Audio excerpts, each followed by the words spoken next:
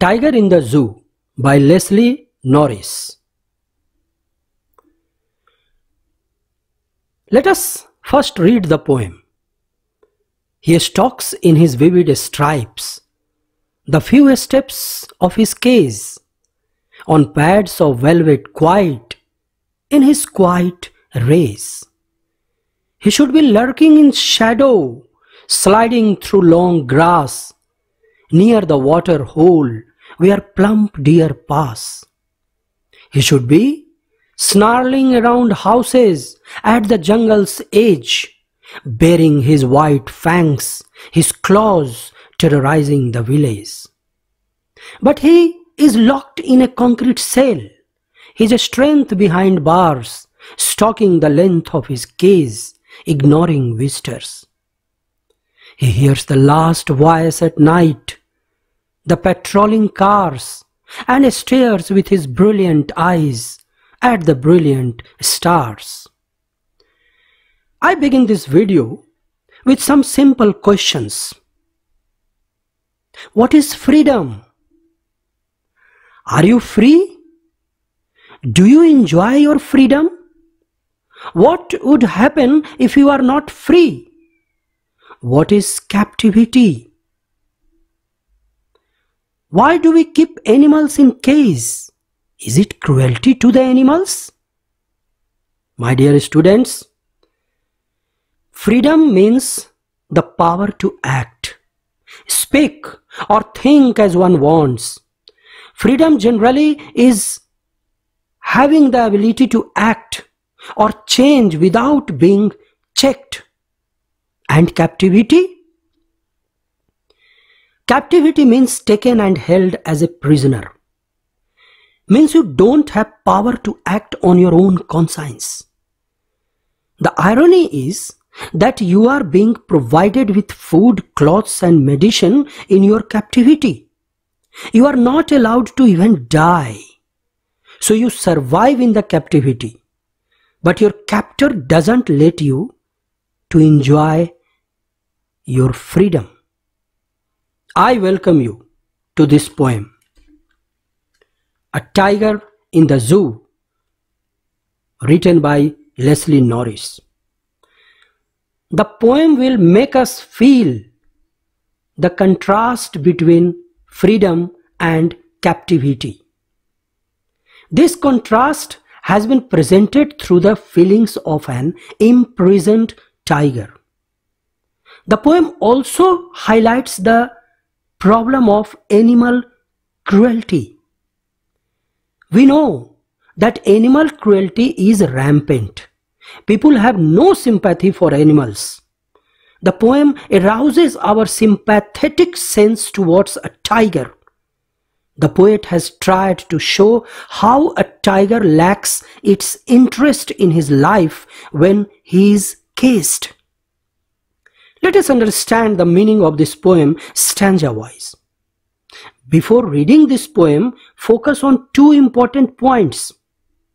First, the behavior of tiger inside the zoo and second, the behavior of tiger in the forest when he is free. The poet has shown the life of a caged tiger and at the same time he visualizes, imagines its life in the forest when he is free. The poem moves from the zoo to the forest and back again to the zoo. See this video attentively and say which stanzas speak about the tiger in the zoo and which ones speak about the tiger in the forest. So now come to the poem stanza wise.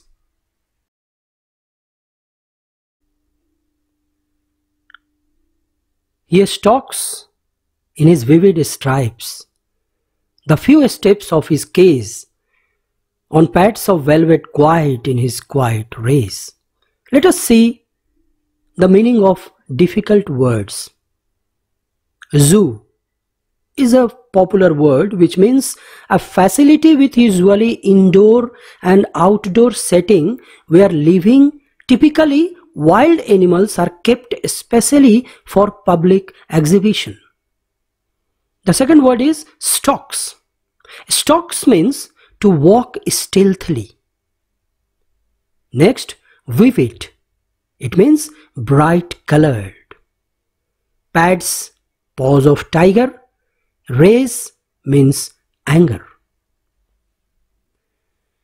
We see that here the tiger is in the zoo, locked in a case.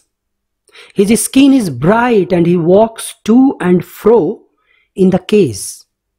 He is walking continuously and restlessly. This shows that he is not happy. The tiger is able to walk only few steps in one direction because the cage is small. It is not easy to walk freely inside the cage. The tiger's walk doesn't make any sound because he has very soft feet. But he is angry because he has to walk in the limited area of his cage. He is angry because he is not free. Let us see the meaning of second stanza. The second stanza reads, He should be lurking in shadow, sliding through long grass, near the water hole where plump deer pass. Let us talk about difficult words used in this stanza. Two words are there. Lurking means to lie hidden, waiting for prey. And plump means fat, and healthy. The meaning of this stanza is like this. In, in this stanza, poet visualizes, he thinks, he imagines tiger in the forest. Here the tiger is not in the cage. The poet says that if this tiger was free, he could be hiding in the long grass near the water bodies to hunt deer. The poet tells us that actual life of a tiger is to live in the forest where he could hunt freely for his food. But the tiger in the case cannot live a natural life. Now see next stanza. Stanza 3 reads like this He should be snarling around houses at the jungle's edge, baring his white fangs, his claws, terrorizing the village. Difficult words in this stanza. First, snarling. It is warning sound made by animals. Another word, baring. This means uncovered, open and fangs means sharp tooth of animals. The meaning of this stanza is like this. In this stanza also, the poet visualizes tiger in the forest. Means in this stanza, the tiger is still in the forest, but in the imagination of the poet. According to the poet, if the tiger was free, he could have been snarling around the houses located at the outskirts of the forest. He would terrorize people with his sharp tooth and claws. The villagers would have been in constant fear by just hearing the snarling sound of the tiger. Here also the poet wants to say that a tiger in the forest will not be in fear from anybody.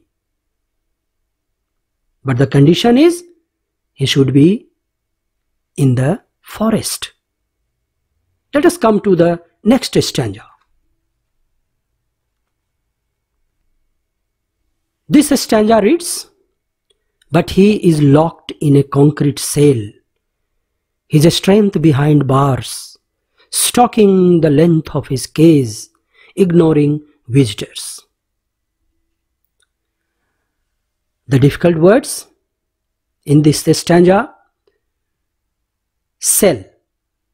Cell means a small room in a prison. Another one, ignore. This means to refuse to take notice of. The meaning of this stanza is in this stanza, the poet comes to the reality. Means now the tiger is in the case. And what is reality here? The reality is that the tiger is not free. As I have told you, he is inside a case. The tiger is kept in a strong cell which is made of concrete.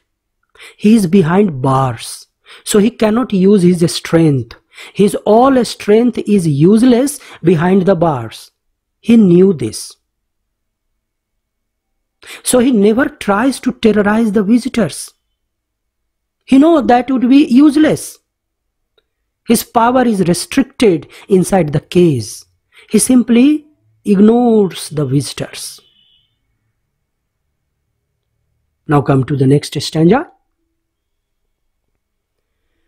This stanza reads, He hears the last voice at night, the patrolling cars, and stares with his brilliant eyes at the brilliant stars.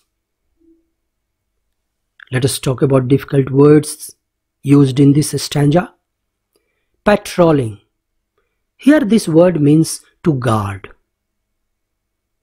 Stare means to look fixedly with wide open eyes. The meaning of this stanza? In this stanza, or I should say, in this last stanza, the tiger is still in the cage. This stanza describes the night-time activities of the tiger. So the time is night. The poet says that the tiger hears the sounds of the patrolling cars, which are used by the security personnel to guard the zoo. The tiger also stares or look constantly at the shining stars with his beautiful eyes. The tiger is sad in the case. He is not free to live his life. He just looks at the stars, feels helpless in coming out of his confinement. Now, let us talk about summary or main points of this poem. A tiger is caged and kept imprisoned.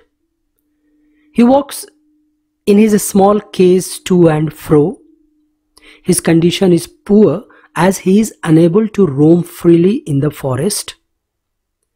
A free tiger would have been hunting in the forest. He would be a symbol of fear among the villagers. A tiger is helpless behind the bars. He is all alone in the night and hears only the sound of the patrolling cars. He looks at the stars constantly as he feels total helplessness. A tiger in the zoo shows inhuman behavior towards animals. We humans don't want to coexist with animals who also have right to live.